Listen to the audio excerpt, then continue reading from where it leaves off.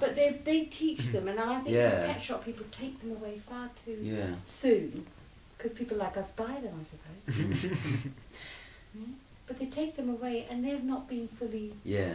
Uh, that's why he's looking. Came onto my lap and went.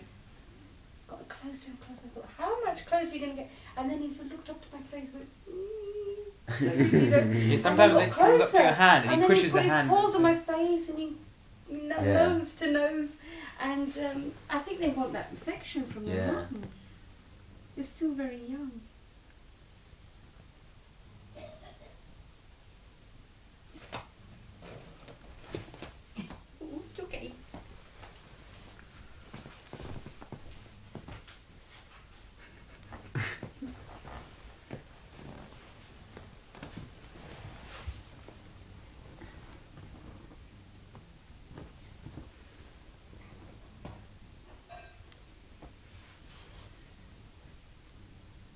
Oh, you looked away.